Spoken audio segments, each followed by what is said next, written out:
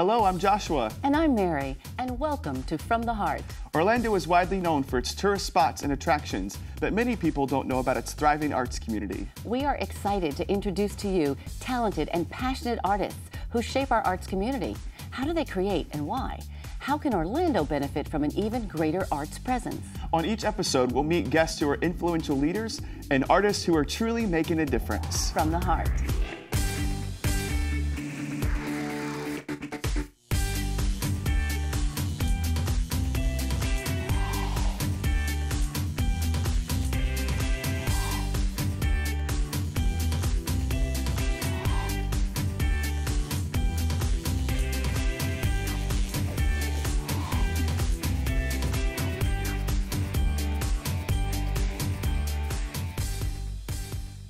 Hello, everyone. Welcome to From the Heart. I'm Joshua. And I'm Mary. And we're excited to bring to you all that's new and good when it comes to the arts in Central Florida. Today we're talking with Gene Columbus, Executive Director of Orlando Repertory Theater. We look forward to learning about Gene and his work and his role at Orlando Rep.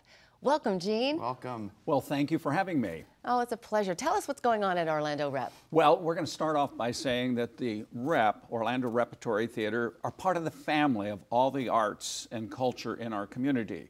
As I say, a family, we don't share the same last name. We share the same first name, Orlando.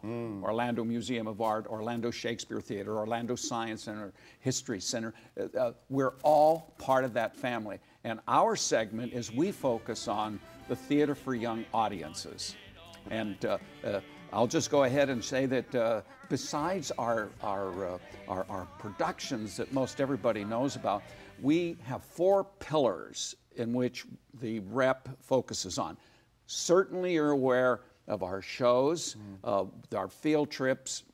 Well over 40,000 school children come to the rep each season to see one of our six uh, productions. But in addition to that, we also have our public performances on weekends, and we're inviting everyone to come down and see those shows. It's a great family outing.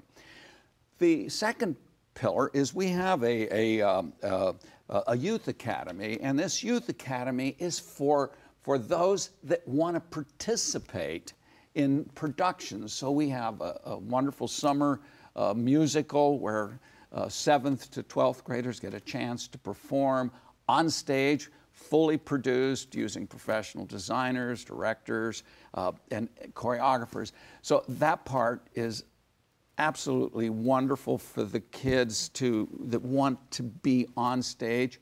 But we also have a tech academy for those kids that want to be backstage. So there's a place for every for There every is a place, Yeah, yeah. and Gene, you do such a great job in your role at, at the Orlando Repertory Theater, and, and the rep does such a great job with children's theater. But tell us, you know, why are you passionate about children's theater, or why does the rep feel like children's theater is important? Why, why do we have to capture them at that young age? What, Well, and it's, I, I- I believe that most people know that uh, when they think back on their own experiences, many people will tell you and pinpoint exactly the first time they were in a theater.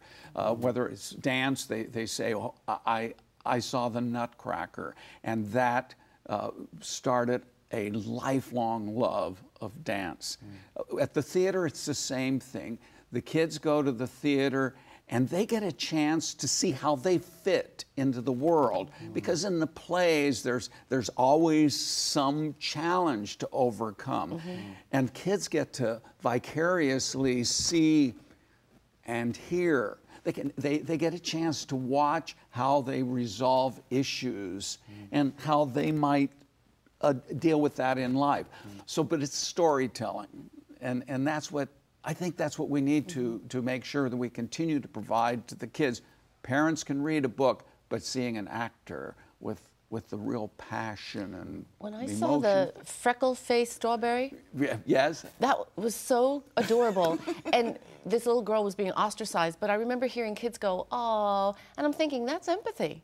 Absolutely, they get that, uh, and, and freckle face is is, is that uh, at the end we learn it's the things that are different about us that make each of us special. Mm-hmm. And what a great message mm-hmm. for the kids. But let me go back to the pillars. We talked about the Youth Academy and our productions. We also have a relationship with the University of Central Florida. Mm. there's a graduate program for TYA, Theater for Young Audiences, that is focused on training and developing tomorrow's leaders in that field. And these graduate students uh, have an opportunity like no other university in the country. There's only about six programs anyway, but this one, they actually get to work with, with, with children in, in the theater. Uh-huh. But I think uh, in some ways, uh, something near and dear to all of us and we think is extremely important is our community engagement. Mm. That's your fourth pillar? That's our fourth pillar. That fourth pillar where we go out and uh, uh, we try to make sure that those kids, those underserved kids, also get the same benefits of uh, that. you mentioned working with home, uh, Coalition with the Homeless at one Absolutely. Point? Coalition for the Homeless is, uh, when you meet those kids, they they identify themselves as being homeless. They feel, they feel that defines them. Mm. And by going in there and we get to work with those, those young people, and we make sure they realize that is only a temporary situation because there's so much more to you mm. than, than the fact that, that, that you're, you're having a period of, of, of not having all the things you need or want. Mm. I don't know if I ever told you this or not, but I did children's theater for a little while at the Nat Horne on 42nd Street. That does not surprise me. but I remember our director was so passionate. He would say, "You're changing lives." You, you know, we say, "You're changing lives." Yeah, arts is really, really a catalyst to change lives. Oh, I mean, it, it, we, like you were saying, you learn so much more as a child through the arts, just social skills and all of those things, and how to deal with confrontation. Why do you think arts education is important? I mean, we talked about the theater aspect of it, but just educating kids. Why do you? Well, arts education, of course, I believe in all, all forms of uh, arts education. It's uh, uh, one of my favorite things is that uh, think about one person with nothing more than their hands and their eyes in front of a group of middle school students. Mm. Getting them all to do one thing together mm. an orchestra making beautiful music, mm. nonverbal communications. -hmm. That epitomizes -hmm. it. I, I, we are just about out of time, but before we go, I, there's two things I want to ask you. One, if you were to give people one reason to come to Orlando Rep, what would it be? Uh, it's uh, quality.